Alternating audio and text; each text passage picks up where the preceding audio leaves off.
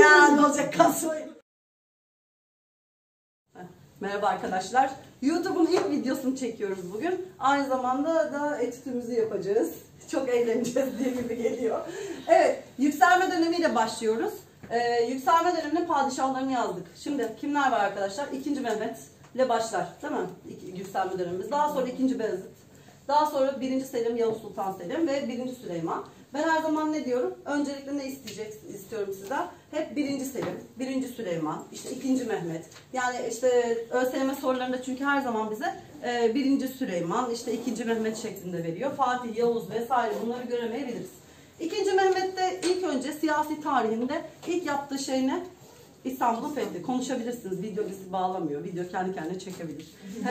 evet, İstanbul'un fethi var değil mi ilk önce? İstanbul'un fethetmesinin sebepleri arasında öncelikle toprak bütünlüğünü sağlamak, aynı zamanda Karadeniz'deki ticaret yollarının canlanmasını sağlamak, e, İpek ticaret yoluna zaten hakimdik ama aktif haline getirmek istiyoruz. E, zaten Karadeniz'de birazdan Türk Gölü haline getireceğiz. Ee, Bizans'ı ortadan kaldırmayı planlıyor. Zaten Bizans bu dönemde artık zayıf. Tekfurlar arasında mücadeleler var. Kuruluş döneminde bundan fazlasıyla faydalandık. Kuruluş döneminde e, Rumeliye fetihlerimizi genişlettik. Bizans'tan topraklarımızı aldık.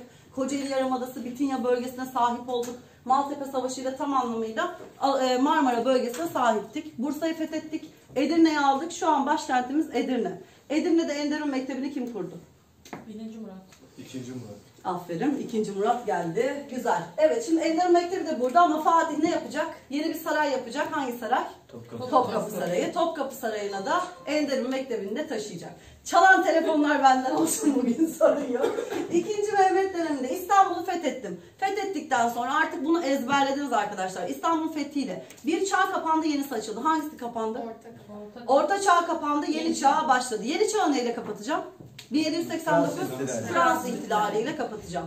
Çağların açılıp kapanması neye bağlı? Bütün dünyayı, bütün ulusları etkileyen olaylar olması gerekiyor. İşte bunlardan bir tanesi de İstanbul'un fethi. Avrupalılar bunu kabullenmek istemeselerdi arkadaşlar. İstanbul'un fethiyle Bizans'taki bilim adamları korkmuş Fatih'ten ve kaçmak zorunda kalmışlar. Aslında korkmalarına gerek yok. Biz hoşgörülü, gayet mülayim değil mi? Öyle bir milletiz.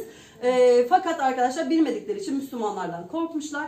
Ancak Notaras Müslümandan korkmamıştı. Onun yerine Katoliklerden korkmuştu. Ne demişti? Kardinalin külahı yerine Müslümanın sarığını tercih ederim demişti. Heh, şimdi e, burada da aynı şey geçerli ama e, Ayasofya'dan artık kaçıyorlar. E, nitekim Ayasofya camiye çevrilecek İstanbul'un fethinden sonra ve Ayasofya'da bir müderrisim vardı. Kimdi o hatırlayalım? Ee, Ali Ali Kuşçu Kuşçu. olabilir. Evet Ali Kuşçu olabilir. Ünlü matematik. Ali Kuşçu nereden gelmişti? Timur. Timur'dan gelmişti. Timur'a giden var yine Fatih döneminde. Kimdi? Kadızade Rumi'ydi. Güzel, harikasınız. Evet, İstanbul'un fethinden sonra ünlü bir e, devlet adamının da kellesini aldık, koltuğunun altına verdik. Kimdi? Çandarlı. Çandarlı Halil. Çandarlı Halil Paşa öldürülen ilk sadrazamdır diyebilir miyiz o zaman? Devlet tarafından. Evet. Mallarına el konulmuş buna ne diyoruz? Müsaade. Müsaadere diyoruz. Müsaadere varsa ne yoktur? Özel mülkiyet. Özel mülkiyet hakkı yoktur. Müsaadere varsa özel mülkiyet yoktur. Müsaadereye getiren Fatih. Müsaadereyi kaldıran kimdir derse sınav sorusu geldiğimizde 2. Mahmut. Sınav sorusuyla 2. Mahmut'la müsaadereyi kaldırdım ama tanzimat fermanıyla da yürürlüğe girmiştir derse kabul edeceğiz. Tanzimat döneminin Tanzimat fermanı yayınlanan, yayınlayan padişah kim? Sultan Abdülmecit. Abdülmecit yayınlıyor fermanların efendisi. Ama yine de müsaadere uygulamasını bir önce daha öncesinde 2. Mahmut kaldırmasına rağmen Tanzimat fermanında da yer alır. Bu yüzden de arkadaşlar Tanzimat dönemi sonuçlarındandır değildir gibi sorularda müsaadere kaldırılmıştır derse evet kabul edeceksiniz. Kronolojik olarak uymamış olsa da. Evet Fatih için biz İstanbul'u fethettik. Öyleyse şimdi diğer fetihlerinden de kısaca bahsedelim. Ne dedik? Balkanlarda fetihleri vardı. Nereleri almıştı? Muhteşem haritamızı çizdik. Sırbistan, Arnavutluk, başka? Mora. Mora, Mora Yarımadası, Eflak. Eflak değil mi? Bosna Güzel. Bosna Hersey'i de aldık. Güzel. Peki nereye alamamıştık? Rodos'u alamamıştık. Rodos'u kim alacak? Kanuni. Kanuni Sultan Süleyman Rodos'u fethedecek. Girit'in fethi Ee, Daha anlatmadım çünkü. Köprülerde. Köprülerde evet 4. Mehmet zamanında e, Girit'in fethi 24 yılda gerçekleşecek. Bakın Balkanlarda oldukça geniş topraklara sahibiz artık. Eflak Voyvodası 2. Bilat. Ne yapıyoruz arkadaşlar Vladimir'i? Kazıklı Voyvoda kazığa çakıyoruz. Adamın hala e, işte cenazesi bulunamamış, Kont Drakula olmuş falan gibi biliyorsunuz e, söylentiler mevcut. Hatta Fatih'in ondan korktuğunu falan da iddia ediyorlar. Drakula filminin komikliğinden de bahsetmiştik ama güzel film bu arada tekrar etmek istiyorum. Evet Anadolu'daki fetihlerine baktığımda şurada neresi var? Pontus Rum. Pontus Rum'a son verdim 1461'de. Karadeniz Türk Gölü haline geldi. Nereye aldım? Kırım. Kırım aldım. Kırım'ın alınması yazamadım. Kırım. Ah, Kırım. Kırım'ın alınmasıyla 1472'de. Tarihleri ezberlemenizi istemiyorum ama 1472 tarihi bizim için önemli. Pontus Rum Devleti yıkılmış 1461'de. Otlukbeli Savaşı mı var? Evet. Otlukbeli Savaşı'nda hangi hükümdarı yenmiştir Fatih? Uzun Hasan. Uzun Hasan. Uzun Hasan nasıl Türk? Küçük, Türk. Büyük Türk Fatih. Uz- Uzun Hasan'a da Küçük Türk denmiş. Ne? Kısa Türk. evet kısa Türk olan e, Uzun Hasan dedik. Otlukbeli Savaşı'yla Osmanlı Devleti Akkoyunlu Devleti'ni yıkmış. Akkoyunlular Kur'an-ı Kerim'in mealini yapmışlardı biliyorsunuz. Hatırlıyorsanız. Gülmek serbest gülün. Evet Kur'an-ı Kerim'in mealini yapmıştı. E, bundan başka Dede Korkut hikayelerini yazılı hale getirmişti. Onlar da oldukça gelişmiş. Türk devleti midir? Türk devleti evet, Otlukbeli de, de, Savaşı'yla Akkoyunlu Devleti'ne de son verdik arkadaşlar. Ee, daha sonrasında Mısır'la aramız bozuluyor. Mısır tabii ki burada değil ama benim haritalarım da burada. Ee, ilk kez görenler için söylüyorum bunu. Evet Mısır'ı yakınlaştırdım, yapıştırdım oraya. Mısır'ın e, arkadaşlar Mısır'la aramız bozuluyor. Mısır'da hüküm süren şu anki devlet hangisi? Memlük. Burada Memlük. Memlük devleti var. Memlük diğer ismi ne? Kölemen. Kölemen devleti. Memlük Kölemenler Türk devleti midir? Evet. Halkı? Arap. Arap. Kutu anlayışı? Yok. Yok. Veraset düzenlemesi? Yok. Yok. Bu yüzden sık sık e, taht kavgaları, hükümdar değişiklikleri. Bu yüzden de ömrü çok e, şey değil, Osmanlı kadar uzun olmamış. Mısır'da halife kim? Abbas halifesi mi? Memlükler mi? Abbas. Abbas halifesi. Hala siyasi yetkiler. Çünkü kime ait arkadaşlar? Ee, şey, İslami yetkiler, dini yetkiler e, Abbas halifesinde, siyasi yetkiler ise Memlüklerde devam ediyor. Me, e, fakat tabii ki burada hani e, şeyler olduğu için e, kutsal topraklar, Hicaz bölgesi, Mekke, Medine, e, buraya hac ziyaretini yapmak isteyen e, hacıların yanına kimleri göndermiştik Suriye muhafız birliği? Suriye alaylarını göndermiştik. Bu Suriye alayları bir kısmı hatta ölmüştü yolda susuzluktan vesaireden. Ee, bunu Suriye alaylarının oluşturulması da Çelebi Mehmet zamanındaydı. Şimdi Hicaz su yolları meselesi ortaya çıkıyor. Kimin zamanı? Fatih zamanında.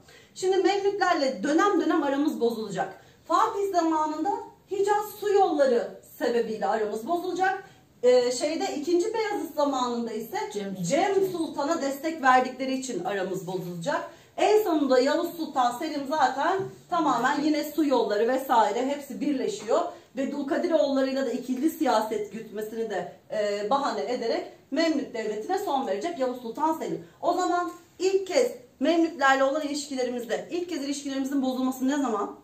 Fatih. Fatih döneminde aramız bozuluyor resmi olarak. Ama daha öncesinde işte Yıldırım Beyazıt zamanında falan iletişimler var daha önce biliyorsunuz.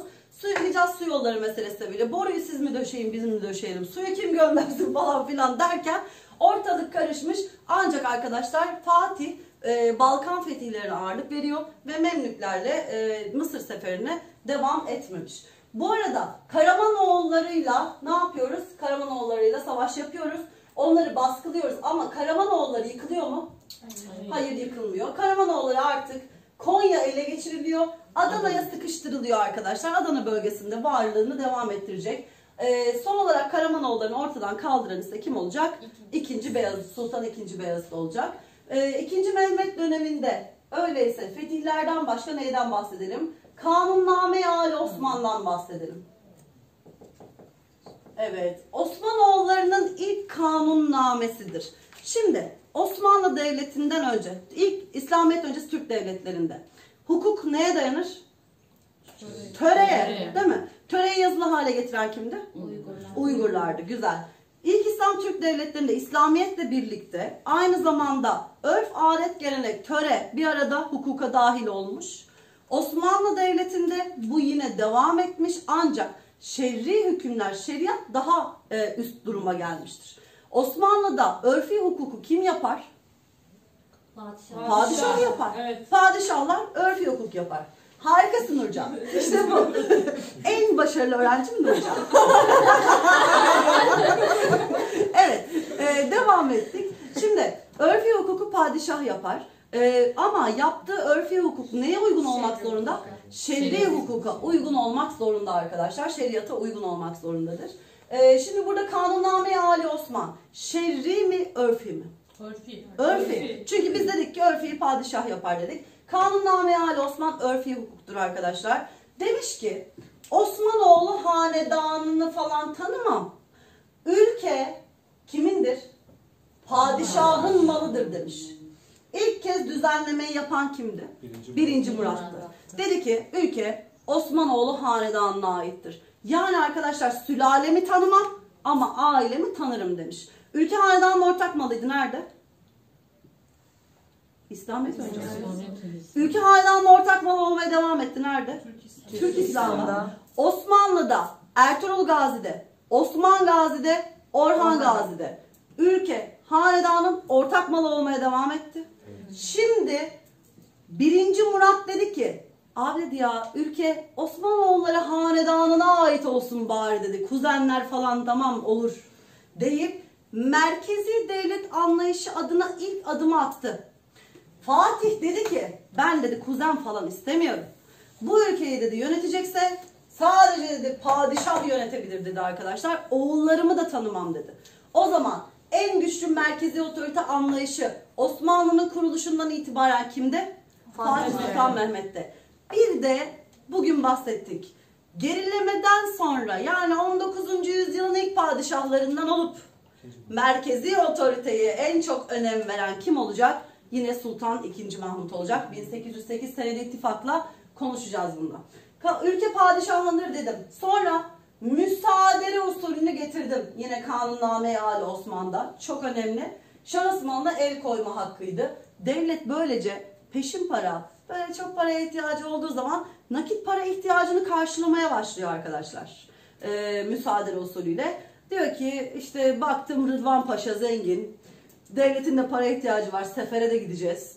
Ya diyor Rıdvancığım sende diyor kaç tane bakayım kervansaray var. Sen neler yapmışsın öyle deyip e, malının mülkünü arkadaşlar e, bir iftirayla da el koyup e, ondan sonra siz sağ ben selamet malına mülküne de devlet el koyabilir. Rıdvan'ı da öldürür mis gibi. Geçmiş olsun. Başın sağ olsun Rıdvan. ben sana kurban olam diye. evet. Sonrasında devam ettik. Müsaade usulünü anladık. Arkadaşlar dedi ki devletin bekası için yani geleceği için kardeş katli vaciptir. Vay kardeşlerime bir şey olsun ölürüm üzüntünden. Allah korusun. Ama biz ne yapıyoruz tarihi? O döneme göre değerlendiriyoruz.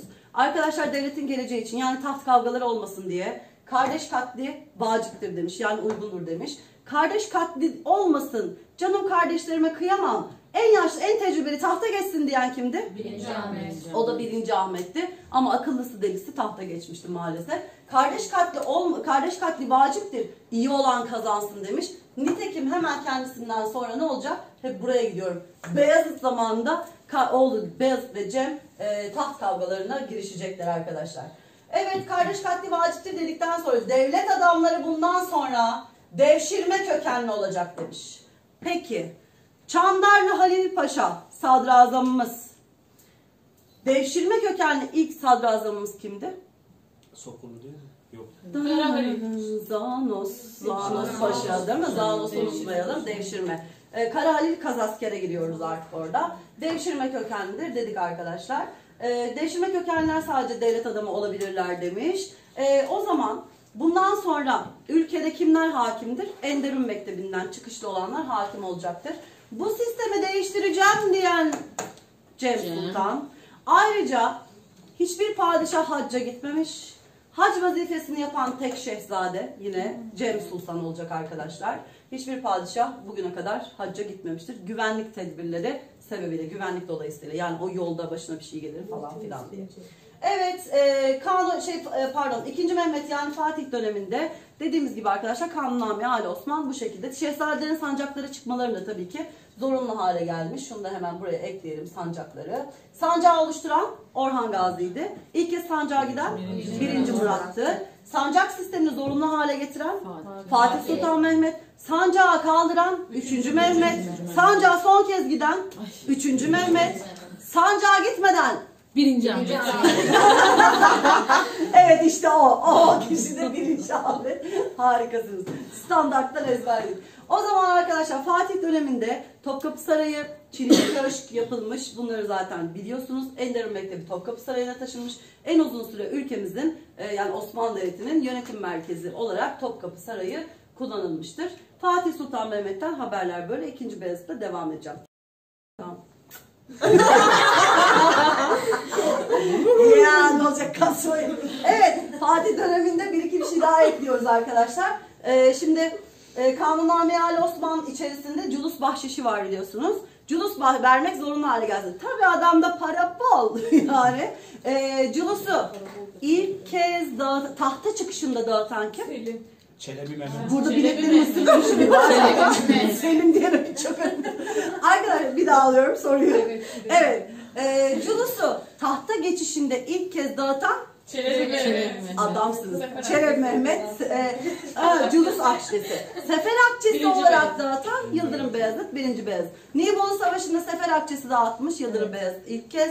E, Culus Bahşişi olarak geçer. Bazı kaynaklarda Çelebi Mehmet devletin ikinci kurucusu olduğu için tahta ilk geçtiğinde dağıtmıştır diye geçer. E, her ikisini de soruya göre kabul edebilirsiniz.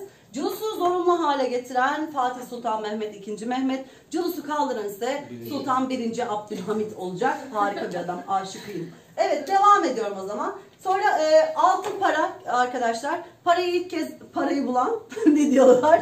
Parayı ilk kez basan Osmanlı padişahı Osman Bey'di.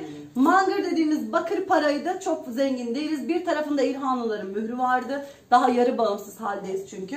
Ee, daha sonra gümüş paramız vardı. Nerede? Orhan Orhan Gazi'de. Gazi'de. Altın paramız var Fatih Fatih. döneminde. Sultani denilen bir paradır da denir ama şöyle söyleyeyim size. e, Bizim bizim hani yani okuduğumuz akademik kaynaklarda Sultan Sultani denilen parayı Kanuni Sultan Süleyman basmış. Süleyman basmış. Bu size gıybet olarak anlatayım. E, Bir e, Sultani akçesi ortalama 4 reşat altın değerindeymiş. Gözümden şu an altınlar çıkıyor. O kadar. Yani para bizde yani o, o derece. Ama tabii bunu kanuniydi Yavuz Sultan Selim'e borçluyuz. O da borçlular yani o dönemde. O da ayrı bir konu. Evet e, Fatih döneminde Bellini portresini yapmak istemiş. Demiş ki gelsin beni bir kere görsün baksın yapsın demiş. Bir kere karşılaşmışlar, konuşmuşlar. Bir görüşüyle yapmış arkadaşlar. Bir de Sinan Paşa'nın gül koklayan Fatih portresi var. Bellini'nin ilk yaptığı portrede Fatih'in elinde aslında urgan yapmış. Yani e, şey onun iradesini e, şey yapmak için ama sizin çoğu kitaplarınızda gördüğünüz mendil haline daha sonradan getirtilmiştir. E, bu dönemde bir de ne var Fatih'te? İlk Şeyhülislamlık makamı Molla Fenari arkadaşlar. İlk Şeyhülislamımız. Daha sonra Molla Gürani olacak arkadaşlar. Onun yerine geçecek. Bir de Kadızade Rumi'miz var. Kadızade Rumi. Her Şeyhülislam e, ezberlemeyeceğiz tabii ki. Ama bunlar ilk üçte oldukları için arkadaşlar veriyorum. Tabii ki birincisi soruldu diye hatırlıyorum yanlış hatırlamıyorsam. E, Otoronto seferi Fatih Sultan Mehmet'in son seferi. Kızıl Elma'ya ulaşmak, İtalya'yı almak, artık Katoliklere son vermek. Nurcan'ın kafasını birazdan keseceğim mesela gibi. Heh, bunlar işte o Toronto seferi İtalya'nın İtalya'ya sefer yapmış ancak vefat etmiş. Ama İtalya seferinde vefat ediyor. Ee, ama devşirme kökenli devlet adamları bunu haberini vermiyorlar. Neden? Çünkü kimi destekliyorlar? Beyazıt'ı Beyazıt. destekliyorlar arkadaşlar. Beyazıt'ın İstanbul'a gelmesi Cem'den daha uzun süre alıyor. Ee, bunu ortadan kaldırmak için Beyazıt'a haber göndermişler. Hatta Sultan Beyazıt tahta geçmeden önce oğlu Şehzade Korkut'u tahta çıkarmışlar.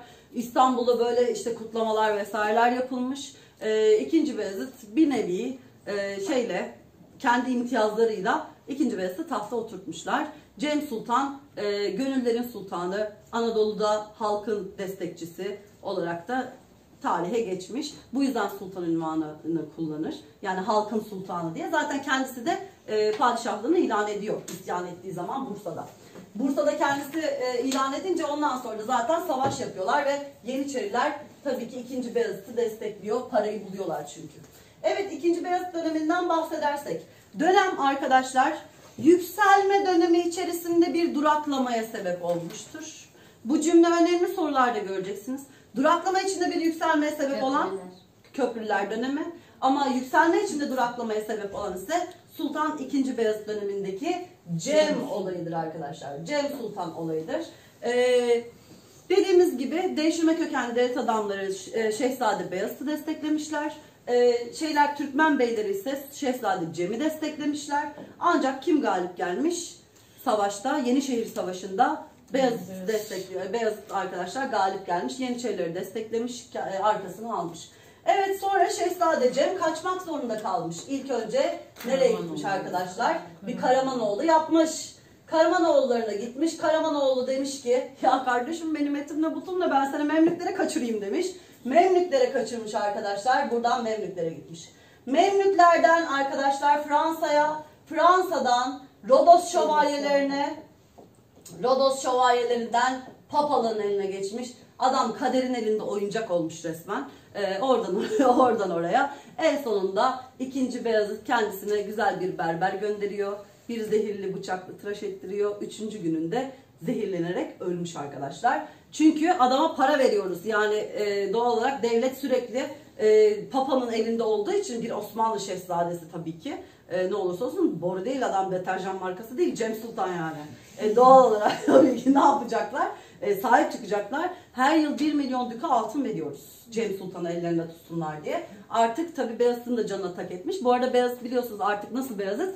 Sofu Beyazıt. Şehzadeyken bol bol içen ama tahta geçtiği an tövbe eden e, Sofu Beyazıt'tır arkadaşlar. Cem Sultan olayı artık çözüldükten sonra yani Cem'in ölümüyle çözüldükten sonra tabii ki artık ikinci Beyazıt e, çalışmalarına başlamış. Ama çok fazla bir şey yok yine de. Çünkü çok e, sarsılmış bu anlamda. Kim var? Karamanoğulları var. Karamanoğullarını ortadan kaldırmış. Bu çok önemli arkadaşlar.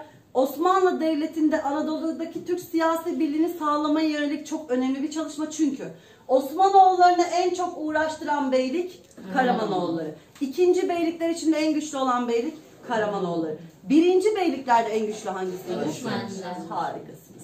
Evet, Karamanoğulları. Böyle doğru cevap alınca böyle bir sütlaç gibi oluyorum. Karamanoğulları. Şimdi Karamanoğullarını ortadan kaldırdım arkadaşlar. Ancak bir şah var benden içeri. Şah kul ayaklanması çıkıyor. Nerede? Doğu Anadolu'da. Doğu Anadolu'da. Ama destekleyen Şah İsmail Safevi Devleti'nin hükümdarı. Safeviler e, Müslüman mı? Evet. Evet. Türk mü? Hayır. Evet. Türk. Türk Türk. Şah İsmail de Türk. Arkadaşlar Müslümanlar, Türkler sadece mezhepleri farklı. Şii mezhebine dahiller. Doğu Anadolu'daki Şah kulu ayaklanması Şiiler tarafından çıkarılan bir ayaklanma. Ancak ayaklanmayı destekleyen kim? Şah İsmail. Doğu Anadolu'daki bu isyan bastırılıyor. Ancak bastırılana kadar bu dönemde Şehzade Selim de yine arkadaşlar e, buraya bu savaşa dahil olmuş. Ka- Kardeşleri Şehzade Ahmet ve Şehzade Korkut'la karşılaşmak zorunda kalmış. En sonunda e, o da babasına kadar gidiyor. İsyan bastırılıyor ama Şah İsmail üzerine bir sefer yapılmadığı için Yavuz Sultan Selim bunu yani o zamanki birinci Selim bunu yediremiyor ve babasına kafa tutuyor arkadaşlar. Kendisinden büyük abilerini deviriyor. Şehzade Korkut ve Ahmet bu mücadeleler içerisinde ölüyorlar. Savaş ayrıntıları vermiyorum. Ondan sonrasında da e, zaten birinci Selim en sonunda babasının karşısına çıkıyor. Babası Çorlu'da karşılaşıyorlar babasıyla. Babası diyor ki peki oğlum diyor. Kılıcın keskin, ömrün kısa olsun demiş. Allah belanı versin demiş yani daha ne desin bilemiyorum. Ondan sonra zaten baba bedduası tutmuş. 8 yıla 80 yıl sığdırmış Yavuz Sultan Selim. Gerçekten çok genişlemiş ülke toprakları. Daha önce söylemiştik bir 14 milyon kilometre karelere falan çıkmışız. Ee, ancak sadece 8 yıllık hükümdarlığı olmuş ve çok acılar içerisinde can vermiştir. Bunu 1. Selim'de hastalıklarını, e, mikroba karşı direncini her şeyi anlatacağız. Dediğiniz gibi ikinci Beyazıtların bir şahkıla ayaklanmasıyla son bulmuş Yavuz Sultan Selim yani 1. Selim resmi olarak tahta geçmiş. Boğdan üzerine bir seferi de var e, Beyazıt'ın. E, Karaboğdan seferi olarak da karşınıza çıkabilir. Kanuni Sultan Süleyman zamanında da bir Karaboğdan seferi var. Her ikisi bazen birbirine karıştırılabiliyor. Boğdan alınmış aslında. Boğdan fethi, Boğdan'ın fethi Beyazıt zamanındadır. Ancak tam anlamıyla biat etmeleri Kanuni Sultan Süleyman dönemine denk gelecek arkadaşlar tamam mı? Evet Beyazıt dönemi de böyle.